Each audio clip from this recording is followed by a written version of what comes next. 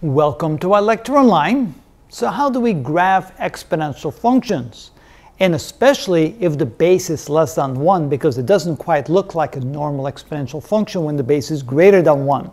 So here we have a function y equals the log to the base 1 third of x.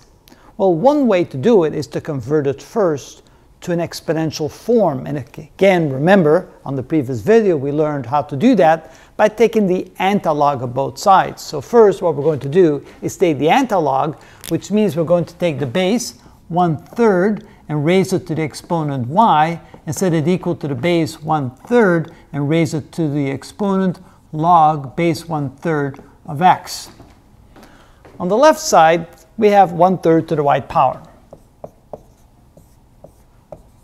But on the right side, if you raise the base to the log of the same base of x, you simply get x again. And then if you turn the equation around, you can write x is equal to 1 third raised to the y power. So it doesn't really matter which way you write it, but there's the exponential form of the original logarithmic function. Now you want to set up a table.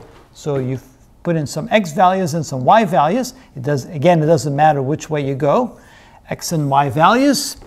And it looks like it may be easier to put in different y values to see what x values you got. For example, when y is equal to 1, you get 1 third.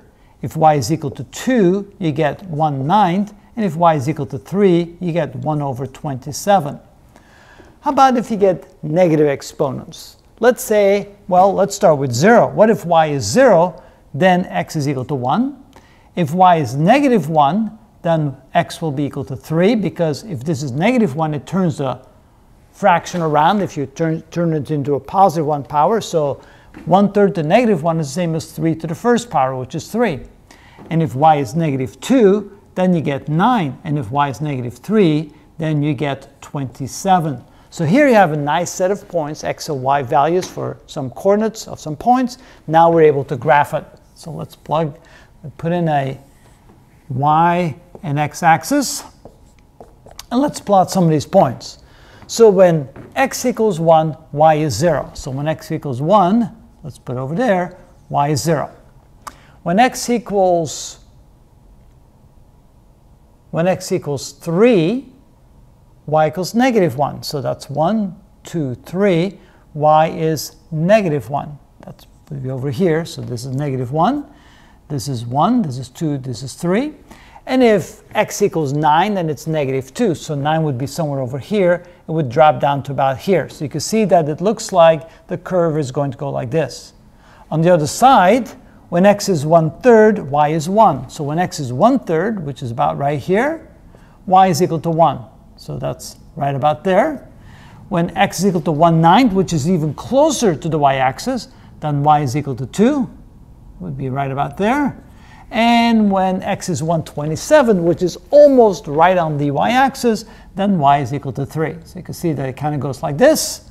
And then if you collect all those dots, it looks like asymptotically goes to the y-axis. So connecting those dots like this, and like this, and then it goes like that. And there is the logarithmic function y equals the log to the base 1 third of x.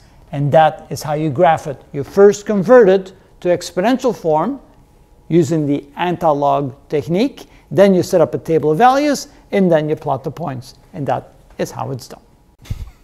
Or you could, or you could just say that's the graph of x is one third to the y power.